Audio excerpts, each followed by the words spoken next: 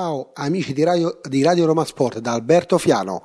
L'immancabile appuntamento con il punto sulla Roma dopo Roma-Empoli di sabato 1 aprile, ovviamente corrente anno. Che dire, maggior profitto con minor sforzo. La Roma vince con l'Empoli e conquista tre punti che, come alla vigilia avevo detto valgono 6 visto che domani ci sarà lo scontro diretto tra Napoli e Juventus le due principali antagoniste ai vertici della classifica della Roma e di conseguenza sarà impossibile non guadagnare o tre punti sull'una o sull'altra o addirittura due punti su entrambe. Quindi quello che bisognava fare la Roma l'ha fatto in pieno, ha vinto 2-0 contro l'Empoli, quindi eh, facendo anche con il maggior profitto con il minor sforzo, perché nel primo tempo la Roma parte sottotono e questo lo ha detto anche lo stesso Spalletti in conferenza stampa. Mi auguro di sbagliare, ma ho visto uno Spalletti in conferenza stampa un po' insofferente verso la stampa romana e non vorrei che sia un segnale inequivocabile di ciò che ha fatto anche, o che meglio ha detto anche ieri, che tutto lascia presagire che purtroppo al 90% il tecnico di Certaldo eh, a fine stagione dirà arrivederci Roma per la seconda volta e questo sarebbe un grande danno. Comunque, tornando alla partita, poi eh, la Roma dopo i primi 25-30 minuti di gioco comincia a sciogliersi e soprattutto nella ripresa eh, è molto più libera di testa, evidentemente eh, pesava un, la, il pensiero inconscio della fondamentale, come lo stesso Spalletti l'ha definita, partita di martedì prossimo 4 aprile ore 20 e 45 Stato Olimpico, ritorno di semifinale di Coppa Italia con la Lazio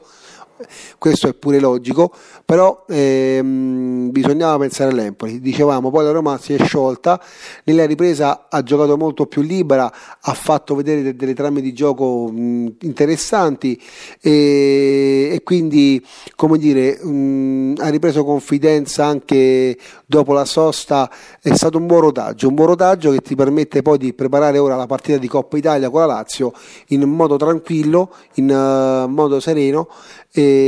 quindi con il giusto entusiasmo, la giusta eh, carica agonistica. Eh, una partita che sarà un crocevia fondamentale, fondamentale perché la domanda è questa, eh, se Spalletti eh, sa che la squadra è con lui e che vuole la sua conferma, lanciando quel messaggio dicendo che se io non vinco e il secondo posto non è una vittoria, io me ne vado, va, mh, mm, ha dato come un segnale ai giocatori voglio vedere veramente ora quanto veramente mi volete qui perché così magari martedì eh, con la Lazio oltre a dare il 100% date il 125% ossia oltre le vostre proprio potenzialità fi- psicofisiche gettando il cuore e la testa, i polmoni e i muscoli oltre l'ostacolo con eh, tutta l'anima, con tutto quello che si ha dentro veramente, fino all'ultima goccia di sudore, fino all'ultima goccia di sangue, ovvio in termini sportivo, e, e mm, magari uh, visto che poi è lui che li tiene sotto scacco ogni giorno in allenamento, sa come toccare emotivamente le corde dei suoi giocatori, sa quale bottoni andare a spingere e magari con questa forte dichiarazione a vole, um, riuscire proprio in quell'intento che io ho appena enunciato. E, tornando alla partita con l'Empoli, da segnalare un ottimo intervento di Scesni a inizio primo tempo su Marilungo e, e poi comunque un'ottima prova di Paredes al centrocampo, la buona mezz'ora di Crenier quando è entrato e la doppietta di Geco che passa alla storia della Roma perché mai nessun marcatore né Totti né Pruzzo né Balbo né Badistuta aveva fatto 33 gol in una sola stagione ed in Dzeko ci è riuscito e quindi ora è di diritto, di fatto e con merito nella storia della Roma come miglior marcatore di tutti i tempi in una sola stagione e ancora non è finita. Ci aspettiamo e, ci speriamo, e tutti speriamo che possa ancora rimpinguare questo bottino già da martedì, magari con un'altra doppietta. E l'impresa è ardua, l'impresa eh, rasenta la mission impossible, ma non è, non è affatto eh, come dire, proibitiva, poiché la Roma ha nelle capacità sue, nelle sue capacità tecniche, morali e tattiche la forza di poter ribaltare questa, questo pronostico che ora giustamente la vede molto penalizzata. Il Sassuolo oggi nella prima mezz'ora di gioco, 30-35 minuti, ha dimostrato che se la Lazio viene aggredita con un ritmo alto, con un pressing feroce e tambureggiante, con trame di gioco veloci, soprattutto con verticalizzazioni palla a terra ed allargando il gioco sulle fasce, eh, è una squadra che è vulnerabilissima. E quindi è da quello che deve prendere a mio avviso spunto Spalletti per poi riproporlo in campo martedì sera. E quindi soprattutto l'alta intensità di gioco. La Lazio ha dimostrato che se incontra squadre che tengono un ritmo infernale almeno per 70-75 minuti del match, eh, lei li soffre terribilmente e questo è quello che deve fare la Roma. Poi speriamo che eh, la fortuna almeno una volta, visto che, che, esist- che deve esistere anche nel calcio una legge di compensazione ci dia una mano perché mh, la fortuna, eh, senza fortuna non, non, anche i più bravi fanno poca strada e, mh, e, soprattutto che magari si riesca a trovare quel gol nei primi 15-20 di gioco, 25 di gioco del primo tempo, quell'1-0 e allora poi la pressione sarà un macigno sulla testa della Lazio, anche qui eh, l'11 di Inzaghi ha dimostrato di non essere perfetta cosa fondamentale, diamo il, con tutto il cuore il benvenuto, il ben, anzi il bentornata alla curva sud, il bentornato alla curva sud. Eh, sarebbe bellissimo che proprio grazie alla spinta della curva sud eh, la Roma possa compiere questa impresa. Eh, nessuna curva al mondo è capace di trascinare la propria squadra a grandissime eh, prestazioni come la curva sud e quindi io invito tutti a seguire la curva sud, scateniamo l'inferno, una bolgia giallorossa per questa grande partita, per questa grande rimonta. Cancelliamoli dall'esistenza, ovviamente in termini sportivi, dimostriamo che la Roma siamo noi, che Roma siamo noi, che la capitale è giallorossa, che loro qui sono ospiti e quindi stessero bene al loro posto.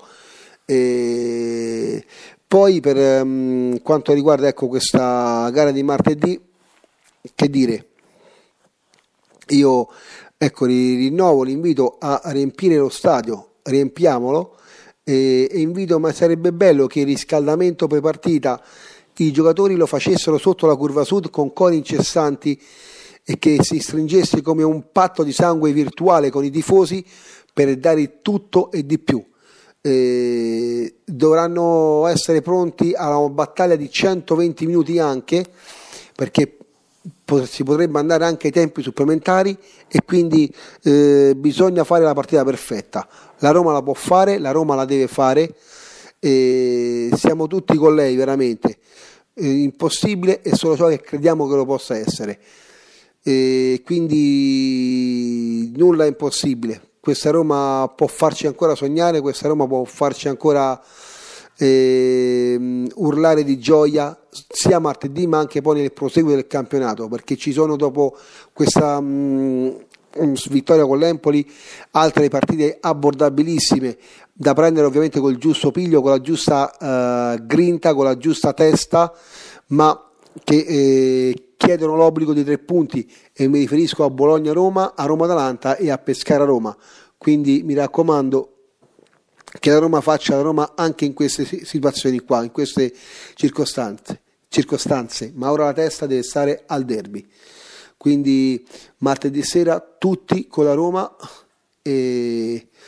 e che poi insomma ecco alle 23 del, di martedì 4 aprile si possa veramente festeggiare, sarebbe un'apoteosi. E penso che il pubblico della Roma, penso che Spalletti, che questa Roma, che questi tifosi, visto quello che hanno sofferto, stanno lontano dalla propria squadra per 18 mesi portando avanti una protesta in termini molto molto civili,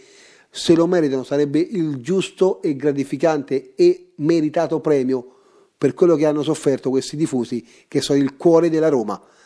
eh, per, um, questa, anche, anche, per questo appuntamento. Ho detto tutto, come disse Totò nel celebre film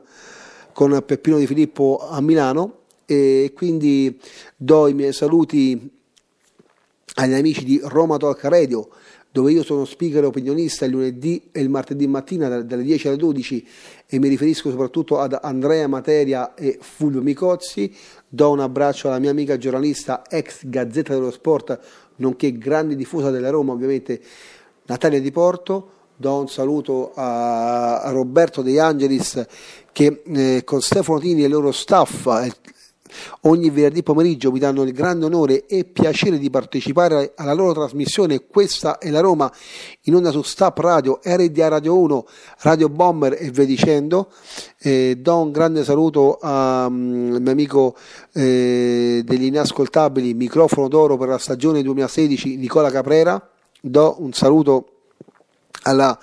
mia carissima amica eh, dottoressa in dizione e logopedia e anche brava attrice teatrale e cantante Annalisa Peruzzi, per chi fosse interessato alle sue materie può contattare la sua pagina Facebook. Do un grande saluto al mio amico Guglielmo Timpano e, e a Flavio Maria Tassotti, anima e conduzione della trasmissione Gioco Pericoloso che va in onda tutti i giovedì sera dalle 21 alle 22.45 su Teleroma 56 dove io curo appunto la parte eh, tattica e pronostico sulle avversarie di turno di Roma e Lazio. E mh, mm, do anche un saluto alla mia amica bravissima attrice de, di fiction e cinema Elda Alvigini alias Stefania Masetti per quanto concerne la serie di successo dei Cesaroni. Mh, mm, spero di non aver dimenticato nessuno eh, chi ho dimenticato l'ho fatto in buona fede, comunque mando un abbraccio generale a tutti quanti, così almeno mi faccio perdonare se qualcuno non l'ho salutato. E vi, do, ah, vi ricordo anche che chi viene a nome delle trasmissioni, questa è la Roma, e, Roma Talk Radio, Gioco Pericoloso, all'agenzia del Mago Alberto, sita in via Gandia 141B come gli 11 anni di Serie B che si è fatta la Lazio, quindi B come Serie B, eh, zona Prati, Piazzale degli Eroi e che pronuncia la parola magica Dai Roma Dai avrà una giocata gratuita di 10 euro che noi con piacere regaleremo. Per questa volta è proprio tutto, vi auguro una buona notte, vi auguro una, una buona domenica e seguiteci sempre più numerosi mi raccomando e mi raccomando, e soprattutto a martedì, più che mai, dai Roma dai, soprattutto sempre, ovunque e comunque. Ciao e alla prossima da Alberto Fiano qui su Radio Roma Sport.